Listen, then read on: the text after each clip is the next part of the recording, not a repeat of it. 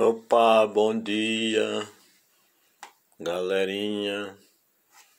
Estamos aqui preparando um lanchinho para garotada, um lanchinho para as crianças. Que fruta é saúde, fruta dá disposição e muita energia. Vamos colocar também, fazer um pãozinho com queijo, preparar o lanchinho para os netinhos ficarem fortinho, forte fiche na luta do dia a dia. E aí, gente?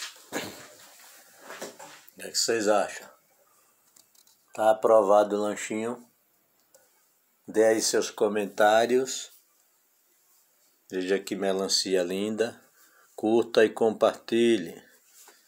Ajudar nosso nosso humilde canal. Obrigado a todos.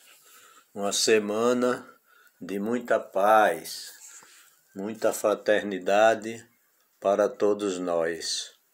E vamos, gente, pensar na horta comunitária que é importante fazer uma horta comunitária aí na associação para todos terem suas verduras fresquinhas toda semana levar para casa frutas e verduras sem agrotóxico alface coentro.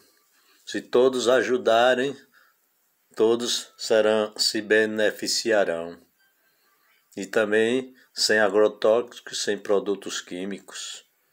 Tudo natural, como deve ser. Então, gente, vamos pensar aí nesse projeto da horta comunitária, não só na nossa associação, como em todo o Brasil. Estive aqui na Austrália e eles têm uma belíssima horta comunitária e se reúnem, confraternizam e todos recebem sua cota de alimentos. Excelente para a economia doméstica. Nós já, já temos lá os espaços, é só cada um se empenhar e ajudar da maneira que puder. Uns podem ajudar doando financeiro, outros podem ajudar com trabalho, ou mesmo doando mudas. Cada um fazendo sua parte, todos teremos o nosso quinhão. Horta comunitária é a solução.